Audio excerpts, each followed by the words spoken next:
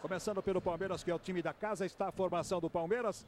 Marcos, dois Baiano, três Nem, quatro Leonardo, seis Lúcio, cinco Correia, oito Magrão, dez Elson, sete Pedrinho, onze Munhoz, Wagner com a nove, o técnico Jair Pisserni.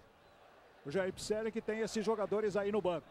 E aí a relação para você dos jogadores, Sérgio, Daniel Martins, Glauber Alceu, Marcinho, Fábio Gomes e Rafael Marques. E agora vamos apresentar o São Gabriel. Time gaúcho que venceu a primeira partida 2 a 1 lá no seu estádio no Silvio Correia. O goleiro é Altieri. Três zagueiros, três Beto Brito, dois Morelli, quatro Mano Paulista. Pela ala direita, sete Eliseu. Dez Clóvis, cinco Panceira, oito Ivanildo. Pela ala esquerda, Itaqui, número seis. E na frente, Luciano Fonseca com a 11 e o Ale Menezes com a 9. Levantamento lá para o Wagner. A defesa do São Gabriel parou. Gol!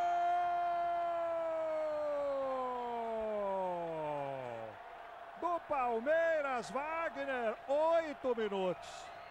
A defesa do São Gabriel parou, o Palmeiras bateu rápido. E agora o time do São Gabriel está reclamando com o árbitro mineiro. 1 a 0 para o Palmeiras.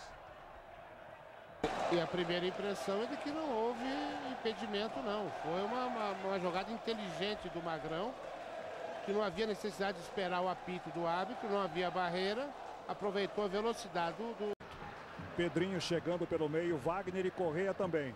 Olha o Munhoz. Pedrinho dominou, bateu! Gol! Pedrinho para o Palmeiras aos 30 do segundo tempo. Recebeu e bateu com categoria, tirou do goleiro Miguel. O Palmeiras faz 2 a 0. É, e foi a primeira boa jogada do Munhoz no jogo. Pelo lado direito, cruzou e olha que não, não foi aquele cruzamento no pé do Pedrinho, não. Teve que ter muita categoria para dominar essa bola. Não foi fácil, não. Mas isso ele sabe muito bem. Leiva, eu achei que o Pedrinho estava impedido, hein? Eu achei que quando o Munhoz toca, quando nasce a jogada aí, ó, do passe do Munhoz, eu achei que o Pedrinho estava impedido, hein? Daqui a pouco a gente vai mostrar por aquele ângulo é, da, nesse... da... Botou para dentro, passou pelo Wagner, olha a confusão ali. Sobrou pro Wagner, tocou na trave, sobrou. Gol!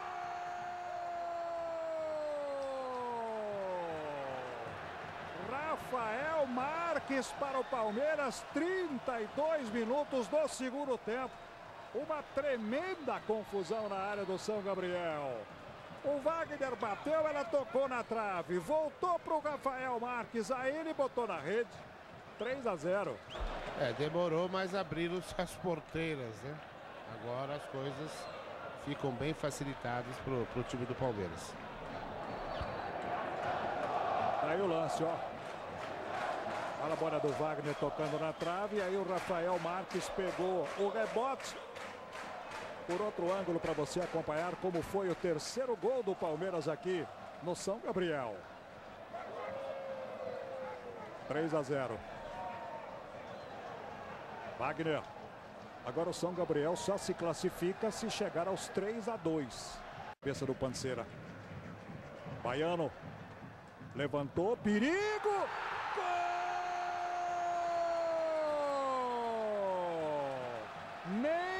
Para o Palmeiras, 37 do segundo tempo.